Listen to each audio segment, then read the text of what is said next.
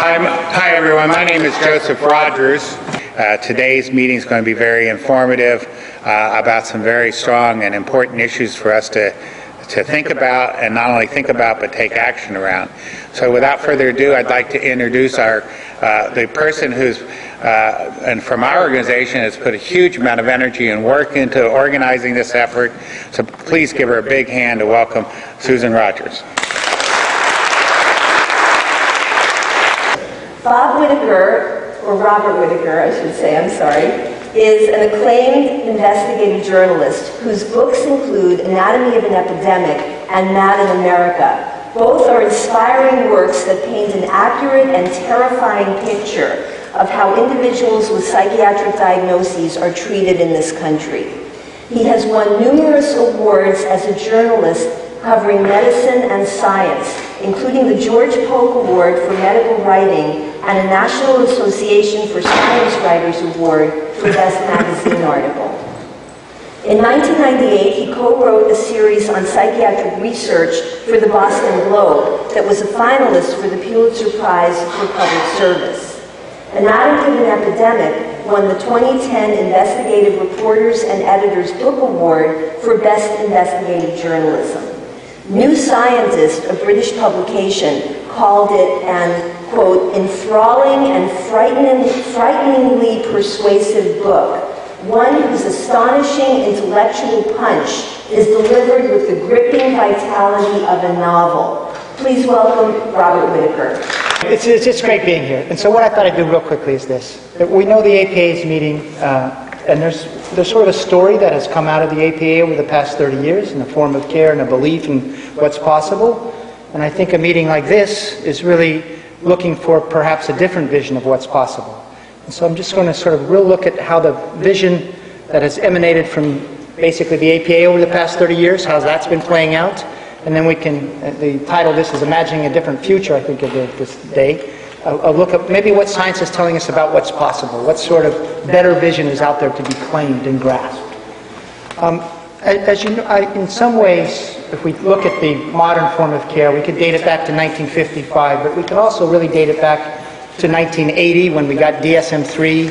DSM-3 adopts the medical model uh, and says that basically these are real diseases that are there's sort of a, a- a clearly cut, uh, drawn line. Over here you have a disorder, and over here you don't have a disorder. And there's this sort of sense: either have depression or you don't. You have schizophrenia or you don't, or bipolar and you don't. And, and beginning in 1987, of course, Prozac comes to market. This is the first of the second generation psychiatric drugs. And that's when we have really taken off with the use of psychiatric drugs and the expansion of diagnoses and that sort of thing. Just one thing, in 1987, we spent about $800 million in this country on psychiatric drugs. We now spend, oh, oh, well, in 2007, we spent around $40 billion in psychiatric drugs. So that's a 50 fold increase. And so the first question we want to look at is how is this playing out for us as a society, that medical model? Is it reducing the burden of mental distress for the society as a whole is one question. Are outcomes getting better for people so diagnosed? That's another question, etc. And when you try to look at how it's playing out for us as a society as a whole, all the indicators are it's not working for us as a society as a whole. So one a metric you can look at to measure the burden of mental distress in a society is look at the number of people on disability due to you know, a mental disorder. That's the reason they get declared eligible. Well, in 1987, we had about 1.25 million adults on disability. 2007, we had about 4 million. So it went up threefold during this time of increased use of psychiatric medications and this adoption of the medical model and greater diagnoses. From a societal point of view, that's not a system that's working. In other words, we're spending more money, more people on disability, etc. So that's one factor. By the way, that was in 2007. I think we're, we're well over, there's been, so I used the 2007 data. That's the data I got when I was uh, researching anatomy of an epidemic. It's now 2012. I think we're about 800,000 more people since that time. It's an example of how the disability numbers just keep going up and up. How about children? It's really in this past 20, 25 years, we've really been diagnosing children, medicating children. In 1987, we had 16,200 children on disability due to mental illness. In other words, their family got an SSI payment because of mental illness. Now we have around 700,000 So that's almost a 40-fold increase. If you look at the kids who go on disability due to, you know, because they have a, this, you know, said to be due to mental illness, about two-thirds go right on to adult disability at age 18, and they sort of have a path as a mental patient, a career as a mental patient laid out for them. I don't think that path did not exist 40 years ago. There just wasn't this well-laid path towards career mental patients. So that's new for kids. Um, I've been doing a lot of talking at schools, colleges, and I hear over and over again roughly 30% of incoming freshmen now arrive with a diagnosis and a prescription, which just gives you an example of how extensive this paradigm of care has uh, affected our society. How about another question? So that's sort of a big picture. Another question you find when you look at this existing paradigm of care is where, the question that arises is this, where are all the bipolar patients coming from? 40 years ago, which was called manic depressive illness, was a rare disorder. Prevalence rates were about 1 in 5,000. Okay, so if you do a survey of a, a, population, you find that about 1 in 5,000 would be said to have a bout of manic depressive illness that year. What's the prevalence rate today, 40 years later, for bipolar, quote, bipolar disorder in adults? It's about 1 in 50. So that's a hundredfold increase in prevalence. So rather than this problem becoming, you know, so where are all the bipolar patients coming from? And so we need to answer that question as well. How about, uh, we'll get into that real briefly, but how about outcomes?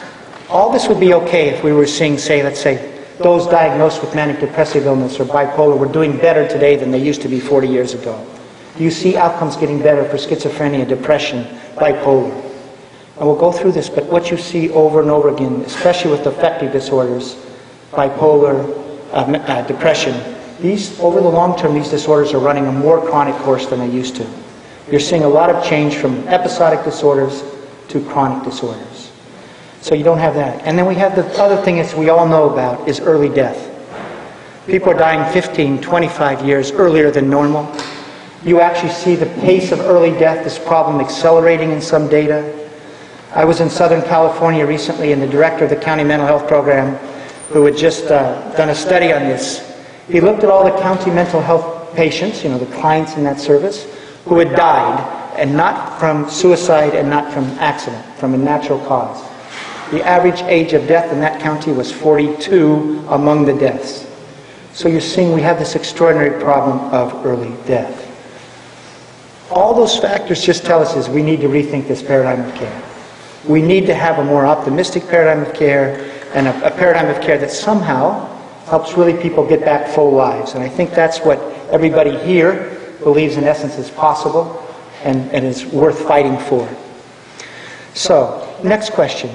Part of the story of uh, the conventional wisdom that has spread through our society in the past 25 years is that um, mental disorders are due to chemical imbalances in the brain, right? We see that in the TVs.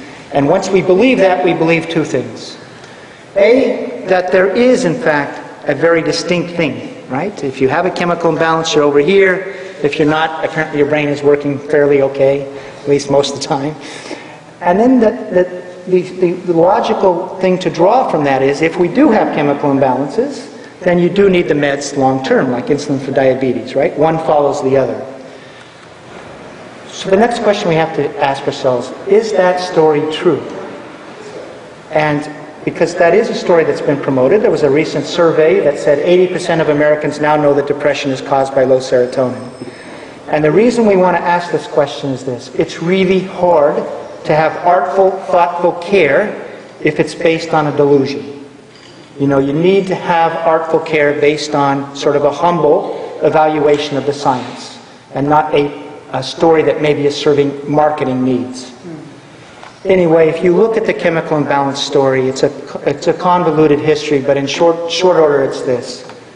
It arose from an understanding of how the medications act on the brain and not from investigations into people so diagnosed. So, for example, they learned that antipsychotics work by blocking dopamine receptors in the brain. In other words, they thwart dopamine activity.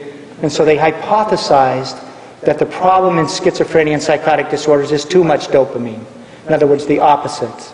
we're more familiar with the low serotonin theory of depression, right? Because we get all, for a long while we had the advertisements, you know, you, you're, you're, you're unhappy, you get your serotonin boost, now you're imbalanced, and now you've got a big smile on your face and you're walking on the beach. Where does that come from? Well, those drugs theoretically up serotonin, right? They, that's what we hear. And so we hypothesize that the drugs, I mean, that the depression is caused by low serotonin. But again, it's a hypothesis born of how drugs act on the brain.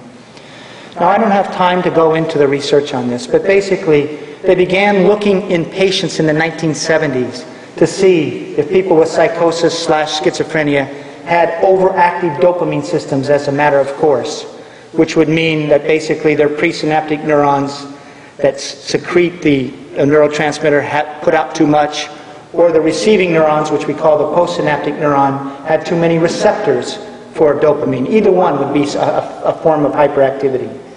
Anyway, long story short is they looked at that and to see was there a characteristic hyperactivity in patients diagnosed with schizophrenia and psychosis, and they just did not find that to be so. With depression, it was the same thing. They investigated. Do people with depression, prior to being medicated, do they in fact have low serotonergic activity? Do their neurons put out too little serotonin? Do they have too few serotonergic receptors? They just did not find that to be so. The low serotonin theory, by the way, fell apart really in the early 1980s. Now, they kept on investigating it, but by the early 1980s, the NIMH was saying it doesn't look like a lesion in the serotonergic system is a primary cause of depression. But I'm just going to read you a couple things here. Here's a quote from Stephen Stahl, writing in Essential Psychopharmacology in, in the year 2000. Now, this is a, a book that believes in molecular psychiatry, okay? This is a very much a biological book. He writes, there is no clear and convincing evidence that monoamine deficiency, serotonin is monoamine, accounts for depression. That is, there is no real monoamine deficit. Okay, there is no real serotonin deficit. That was in 2000. Here's a quote from Stephen Hyman, former director of the National Institute of Mental Health, in his 2002 book, Molecular Neuropharmacology. When he's a, he's a neuroscientist at Harvard University, former director of the NIMH, he writes, there is no compelling evidence that a lesion in the dopamine system is a primary cause of schizophrenia. They didn't find it as a sort of characteristic, always present uh, problem. And now here's Kenneth Kendler, co-editor-in-chief of Psychological Medicine in 2005. He summarizes this long search for chemical imbalances, and he writes, We have hunted for big, simple neurochemical explanations for psychiatric disorders, and we have not found them. So what are the implications of these findings?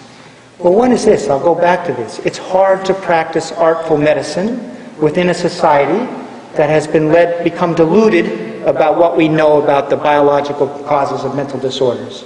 Delusion just isn't a good foundation for good medicine, right? That's number one. Number two, what is the responsibility of medical doctors? It's to be honest about what they know and don't know, right? That's a fundamental thing, is to say if you don't know a cause, say you don't know a cause. Now, just if we say that these chemical imbalances aren't the cause, I'm an agnostic. There, there may be biological factors there to be found, etc., and they can then do something. It just means these causes haven't been found. Anyway, this partly tells you also why we need change. We just need um, a form of dialogue, a form of presentation to the public that is based on what really is known in science and not what helps uh, sort of sell drugs. So, and I think that's what we're, what this audience here is also advocating for, is honesty in medicine. And if you have 80% of our public believing in chemical imbalances, something has gone wrong in that dialogue between a medical profession, pharmaceutical industry, and the population. And it's a fundamental wrong, I think. Imagine if you were a cardiac patient. I don't think they would tell you you have a known biological problem with your heart if they didn't think that to be so, or didn't know that to be so. But there's another good message here. Maybe, maybe there isn't, in many cases, anything sort of permanently biologically wrong. Okay? And so what we're learning more and more is about stress, trauma, all these social things that can, that can sort of put people into very difficult states. And what does that mean? What does that conception of, quote, mental illness or psychiatric disorders mean? It means that if you have the wrong things happen to you, you can move into a psychiatric state, whether it be depression or about a mania or about a psychosis. But also means with the right psychosocial care, maybe the right sort of use of medications, you can move back into a place where you don't have that problem. In other words, it can be an episodic problem as opposed to this vision we have out there now of living with a chronic mental illness. You see the difference in visions here? Th- and if we go to this other vision, it's a very hopeful vision, number one. It's a non stigmatizing vision, number two. Because the vision we have now sort of separates people, right? You're either over here or you're not. This is really a, a, a humanity vision, like, you know, given if certain things happen, you can have real psychiatric tumbles, and with the right care and etc., you can repair and heal, that sort of thing. So the next question is, what does science tell us about the course, sort of, if we can figure this out, the natural course of mental disorders? So that vision out there that maybe these things can be more episodic, or at least often episodic, does science tell us that is possible? Well, one of the things I did in Anatomy of an Epidemic is try to see what sort of outcomes were we getting before the era, the modern era of psychopharmacology. So I looked at, there was actually a conference in 1956 organized by the NIMH, and they were saying, what sort of outcomes are we getting in first episode schizo- schizophrenia cohorts in the past decade before the arrival of Thorazine? Now, our understanding in, in sort of the history of psychiatry as a culture is that prior to 1955, prior to Thorazine, people went into the hospital for schizophrenia and did not get out, right? We said it's Thorazine that made it possible for people so diagnosed to live in the community. What you find is that is not true. So from 1945 to 1955, and again, this is information presented at the very first conference organized by the NIMH on what sort of outcomes are we seeing in the past 10 years you'll find this with first episode people with diagnosed with schizophrenia. Roughly uh, two thirds would be discharged in 12 to 18 months. And at three to five years later, of those follow ups of the first cohort, about uh, 65, 70, 75% would be living in the community. And this was before the time there were social supports. There was not SSI, there was not SSDI. Employment rates at this time for these first episode cohorts were above 50%. And you know the old adage about schizophrenia, one third, one third, one third? There were really what that comes from is, as far as I can tell, were epidemiological studies that found this five years out. And some of this is coming from England, where they were diagnosing schizophrenia more narrowly in 45 to 55. One third of the patients five years later just would not be, quote, schizophrenic. They would not be having delusions, hallucinations, etc. They would have had a time of schizophrenia a time of psychosis.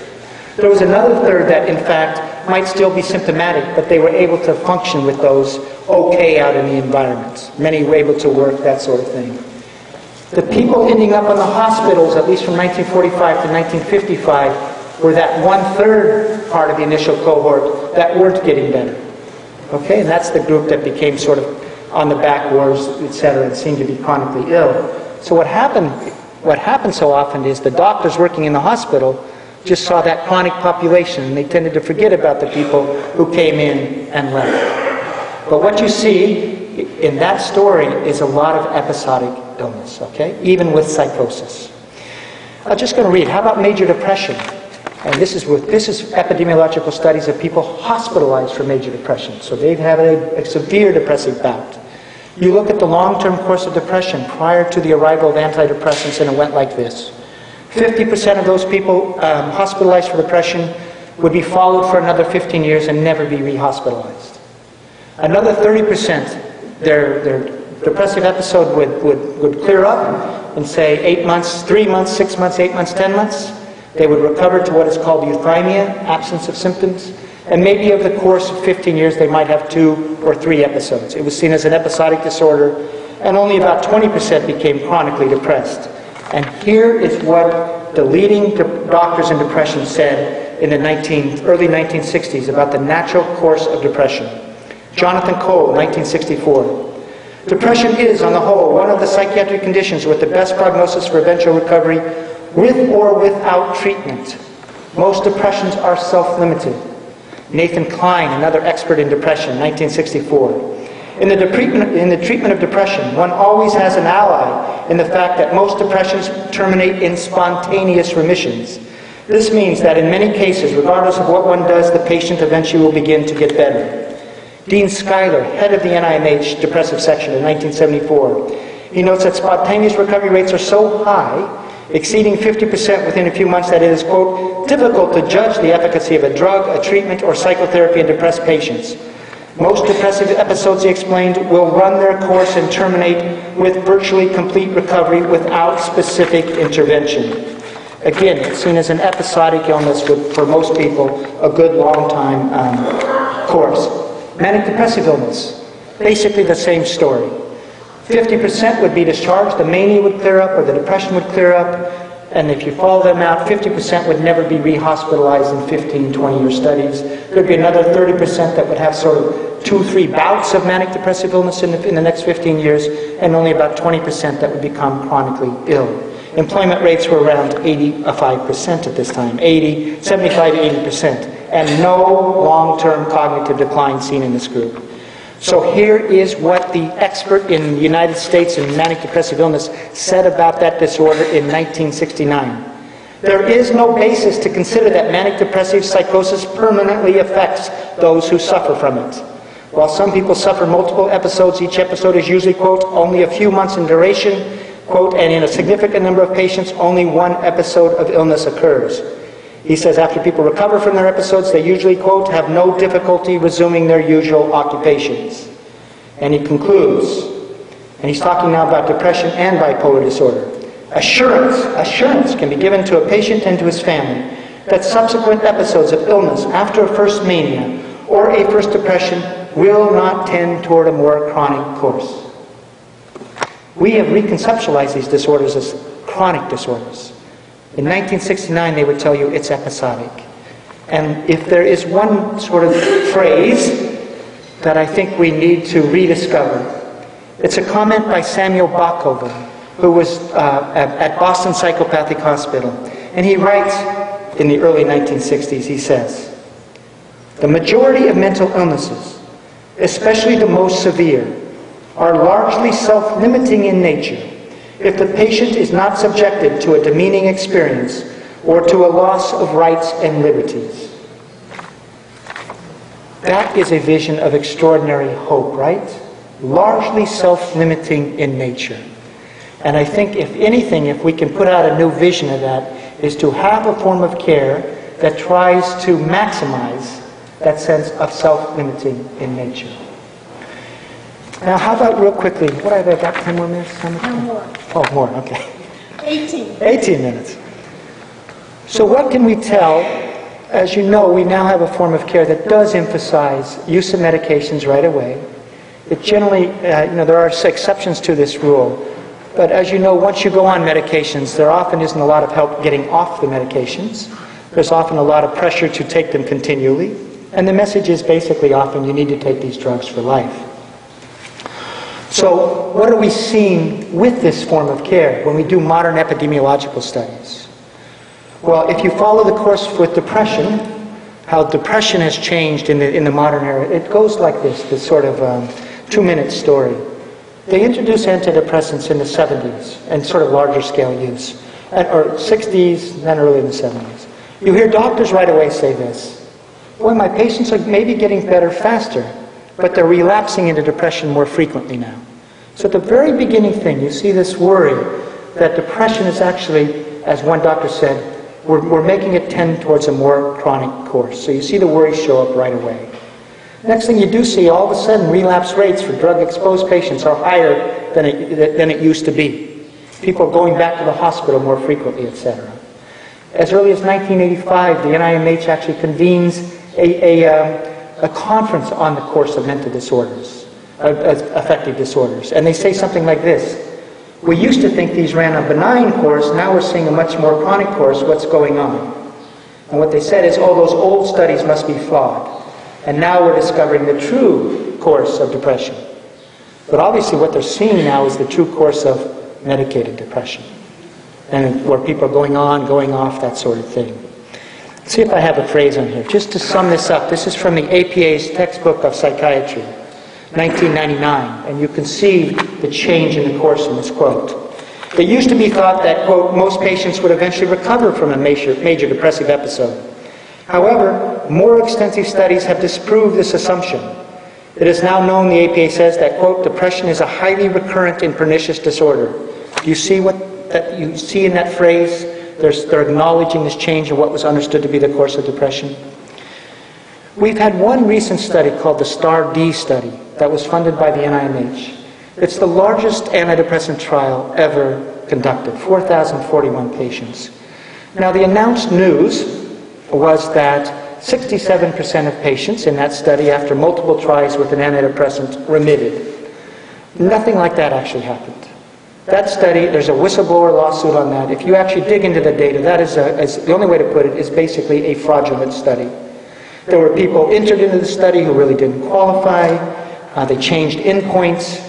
The 67% was actually a mathematical calculation. It's not actually what happened. But here's the most important data from the STAR-D study. There was a, I think it was either a 12-month or an 18-month follow-up. A 12-month follow-up was what it was. So they took those people who had remitted at some point in the initial study, they put them in a, a follow-up, and they did all sorts of stuff to help those people stay well. At the end of one year, out of the 4,041 patients who entered the STAR-D trial, there were 108 who had remitted and stayed well and in the trial at the end of one year. That's about a 3% documented stay well rate. That's the worst stay well rate I have seen in any literature anywhere. Now, there were some dropouts. We don't know what happened to the dropouts. But in terms of a documented stay well rate, not there. Anyway, that's, that's an example of what happened in depression. Now, I'm going to just read, since time is short, three quotes about the change in the course of bipolar disorder between before and today. Here's a quote from Fred Goodwin. Fred Goodwin was a former director of the NIMH. Uh, he's written sort of a couple textbooks on manic depressive illness. He's seen as a foremost expert. He says in 2008, the illness has been altered. Today we have a lot more rapid cycling than we described in the first edition. First edition, I think, was in 1978. A lot more mixed states than we described in the first edition. A lot more lithium resistance. And a lot more lithium treatment failure than there was in the first edition. The illness is not what Kraepelin described anymore. Kraepelin was the great uh, German psychiatrist who laid out the course of, of manic depressive disorders. So what is Fred Goodwin saying? Did you hear that? It runs a more symptomatic course today. Now, he, why he's not blaming the meds, although he does suggest that the antidepressants are the cause. But you can see that is not a story of long-term outcomes improving. Here's a second quote. This is from Carlos Zarate and Mauricio Tohen. Carlos Zarate, at least when he wrote this, uh, this paper in 2000, was head of the, at some point was head of the mood disorders program at the NIMH. So this is one of our experts. He says, in the era prior to pharmacotherapy, poor outcome in mania was considered a relatively rare occurrence. However, modern outcome studies have found that a majority of bipolar patients evidence high rates of functional impairment. Did you hear that? Poor outcome used to be rare, now we're seeing it with all the time. Here's, a, here's a, a comment by Ross Baldessarini. I think this was a 2007 paper. He's a famous uh, researcher at Harvard Medical School. He says, Prognosis for bipolar disorder was once considered relatively favorable, but contemporary findings suggest that disability and poor outcomes are prevalent despite major therapeutic advances. so he's saying we have these therapeutic advances, and yet the outcome is shifting for the worse. You'd think that maybe we need to understand in a time of therapeutic advances why outcomes are shifting for the worse. You actually see long term, at least with some, that bipolar outcomes over the long term are beginning to merge with medicated schizophrenia outcomes. You're seeing a lot of uh, sort of functional, you know, poor employment. You are seeing cognitive decline in, in some bipolar patients that you didn't used to be seeing. And you're seeing a lot of physical ailments related to the drug cocktails. So you are seeing in my opinion, a shift down in the long-term course. So finally, how about schizophrenia? If there's anything that we should know, it's that schizophrenia and antipsychotics improve the long-term course of schizophrenia. Our society says that it's really a, a form of bad care not to people, put people on antipsychotics right away.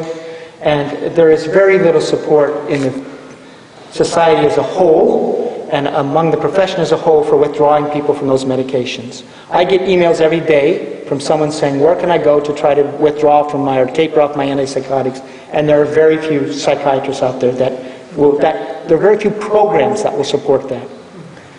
I'll give you two studies, three studies I think, that we need to know about and incorporate into our understanding of long-term course of schizophrenia and psychosis. One is studies by the World Health Organization. They've done two, stu- they did two studies in the 1970s and the 1980s that compared outcomes in three poor countries, India, Colombia, and Nigeria, with outcomes in the US and six other rich countries. One was a two-year study, one was a five-year study. Each time they found that outcomes in those studies were better in the poor countries of the world, specifically India and Nigeria. And the WHO investigators at that time concluded that living in a developed country is, quote, a strong predictor that you won't do particularly well over the long term. So living in a developed country is a strong predictor of a relatively poor outcome. After the first such study, they hypothesized maybe one of the reasons for the better outcomes in the poor countries is the patients are more medication compliant. So they looked at medication usage in the second study, and they found that in the poor countries, only 16% of the patients were regularly maintained on antipsychotics. Is not necessarily saying what the drugs are doing or not doing, but it opens up a different possibility, right? That in countries where not everybody is maintained on drugs long term, you're actually seeing better outcomes with some sort of selective use of drugs. By the way, they, they did a 25 year follow up of those patients in that study, and in the poor countries, if I have this, hopefully I have this. In the poor countries, 25 years later, 53% were never psychotic anymore. Okay, and that's a group diagnosed with schizophrenia. And 73% were employed. It's a sign of very good long term outcomes. We have another study. It was done by Courtenay Harding at the um, Boston University when she was did this. She followed a group of patients released from the back wards of Vermont State Hospital in the late 1950s, early 1960s. Now, this was the chronic group. Remember, we said one third, one third, one third? This is the one third chronic group. The group that is not ever expected to get better. Now, they got a lot of psychosocial care, and what did she find 20 years later? She found that one third of that chronic group was completely recovered, asymptomatic, having pretty good social lives, a lot of employment, and off meds in, in her definition. So you can see in that that we at least need a form of care that allows for the possibility that some people will do better off meds. Now, finally, we have a modern study that really, I think, is challenging if we were to go over to the APA and if we were to really look at the outcomes of this long running prospective study on first episode psychosis, first episode, well, not, or psychosis and schizophrenia, we really need to look at this as a society. It's a study done by Martin Harrow, who's a researcher at the University of Illinois College of Medicine. Beginning in the late 1970s, early 1980s, he began um, following 200 patients diagnosed either with uh, a milder psychotic disorder or schizophrenia at two Chicago area hospitals, one private, one public, and he just follows them. Everyone's treated with drugs, okay? And then they're discharged, and he follows them at two, four and a half, seven and a half, 10, 15, and 20 years.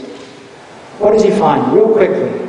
At the end of two years, and then he just sees if they're taking meds, okay? And it's a naturalistic study. People can stay on the meds or they can go off. The purpose of the study, if you read the abstract, was to figure out what happens to people who go off their meds. The understanding, of course, is that as a, a matter of course, they end up like homeless in jail, doing terrible, right?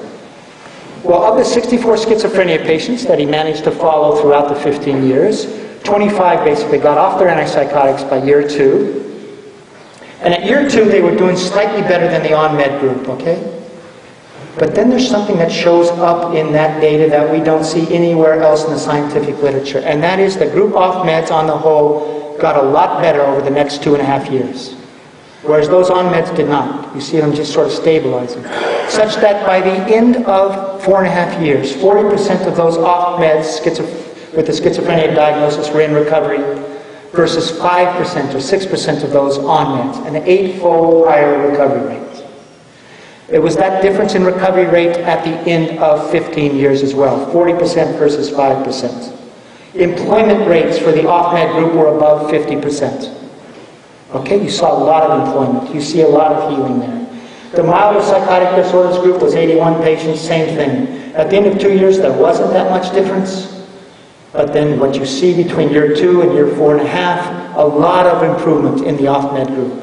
A lot of healing going on. Such that by the end of four and a half, as a group, the off-med group with the other psychotic disorders really was mania with psychotic features, depression with psychotic features, and schizoaffective. As a group, they were very close to a recovered group. They had really good outcomes, good employment, etc., as a group, and it stayed like that. And all I can say is you can see in that Harrow data for that milder disorders group a lot of healing that goes on. But see the time frame it takes? Two years, three years, four years, five years. We don't have a system built to provide care over that longer period of time.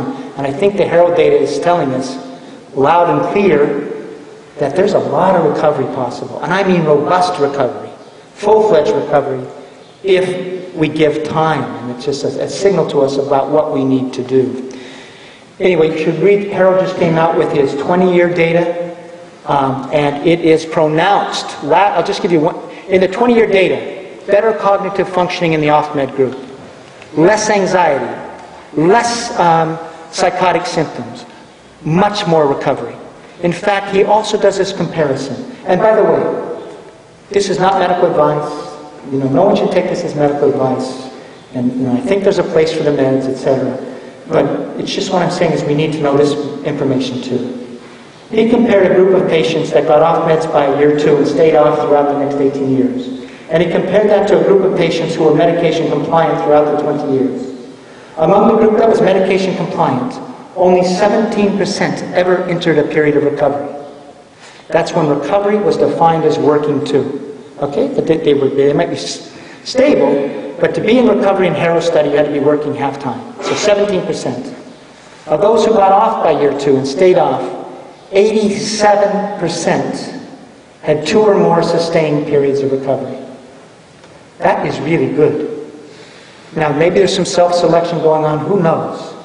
But the problem is, if we go over to the APA meeting, you, I don't think you're going to be hearing, at least in the past, of the possibility of sustained periods of recovery off meds with an initial diagnosis of schizophrenia or psychosis. And what we really need is to embrace a vision of care, I think, and I think this is why we're all here, that is much more optimistic and is much more less stigmatizing and really offers this hope and this possibility. You have a time, you have some psychiatric distress, but we need a system that maximizes where people get back their really full, robust, involved, meaningful lives. And I think science is telling us is this is very possible. Have I got one minute left? Yes. Oh, you have. One minute left? Yes, definitely. I just want to say, one of the nice things is, if we say we're first episode psychosis, there was a group in northern Finland that did reconceive of what was possible. Beginning in 1992, they developed a form of care called open dialogue therapy. It really emphasizes, right at the beginning, a lot of psychosocial care. That's one. Two, they reconceived of what psychosis is. The psychosis does not reside in the brain of the person identified as, you know, who's having psychotic symptoms. They say psychosis exists in the in-between spaces of people, and the person who is psychotic or having these symptoms bears the burden of making manifest, making known this disruption in the social web. Now, if you have that social conception, what do you need to do as a society? Do we need to fix your brain? We need to fix the social web. And there's a lot of emphasis on breaking the so, fixing that social web, breaking isolation, bringing the person back into school, uh, jobs, relationships, all the things I think we all need to stay well. And what are their outcomes now? They now have the best outcomes in the Western world for first episode psychosis. At the end of five years, 80% of their first episode patients are working or back in school. Only 20% are on disability. And in terms of antipsychotic use, it goes like this. They try to avoid initial use of the antipsychotics. They use benzos to restore sleep wake. Someone's not getting better after three, four weeks, they will use antipsychotics. And then even after they use them, they try to use them for a short period of time rather than forever. At the end of five years, only one third of their patients have ever been exposed to antipsychotics. Only 20% are taking them on a regular basis. So they have found a model of care, a selective model of care, that tries to figure out for whom do the medications benefit and for how long. It's a very subtle use, quite different from one size fits all, take your drug, you got the diagnosis, and be on it for life. They have embraced this nuanced selective use model, and they do have now the best outcomes in the Western world. And the other thing that's happening in Western Finland, in Western Lapland, which is the northern part of Finland, is schizophrenia is, is sort of disappearing from that region. The eruption of psycho, they, this is a population of about 70,000. Before they adopted this model of care, they were getting about 27 new cases of schizophrenia per year. If you do your prevalence numbers, that's a lot of new cases per year, okay? They're now down to about two or three. A 90% reduction in this, what we say is the worst mental illness. But the eruption of psychosis has not declined so much in their society. It's basically stayed the same. There's been a little decline. So what's happening? Psychosis is appearing with the same frequency, but schizophrenia, they've had like a 90% decrease. The, the reason is people aren't remaining psychotic long enough to move to the schizophrenia diagnosis. With the DSM, it's like you have to be psychotic, for, symptoms have to be around for six months or more. They're breaking that. They're turning it into a shorter episodic disorder. Anyway, Finland is, Western Lapland, Finland is different, but it tells you about what is possible. And that's, I think, really why you're all, why we're all gathered here together today, is to try to get a new vision out there that uh, will replace this sort of pessimistic, chronic vision that we've been living with for the past 25 years, and really have a vision of turning these disorders as much as possible back into episodic problems and sort of minimizing the, the, the, the frequency with which they become more chronic, etc. So thank you.